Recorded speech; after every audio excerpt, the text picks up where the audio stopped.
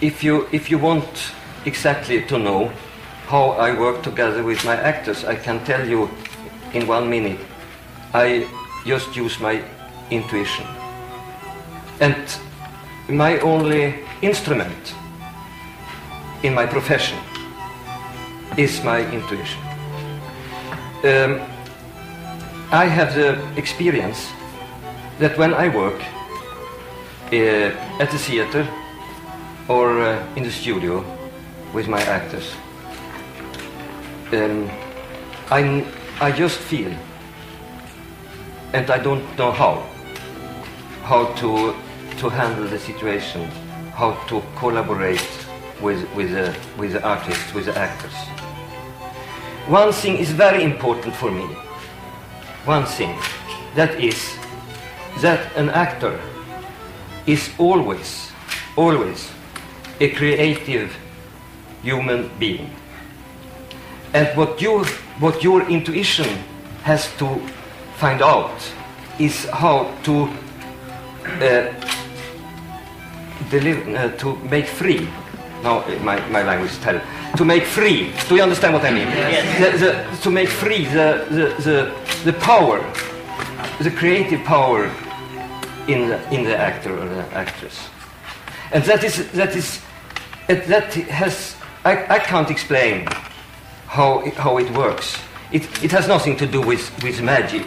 It, of course, it has to do a lot with experience. But, um, but uh, I think when I work together with the actors, I, I try to be like a radar. Like I try to be wide open because we have to make something, create something together.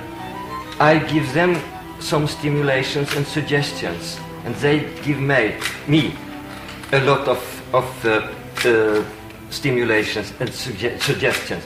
And if this uh, fantastic wave of giving and taking is cut off of any reason, by any reason, I don't know why, uh, you know, it, it can be different reasons.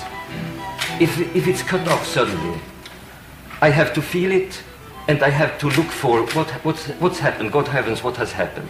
And I know if, it, if, we, I, if we try to work with those waves cut off, it is terrifying. It's, it's the, the hardest, toughest job that exists, both for me and for the actors.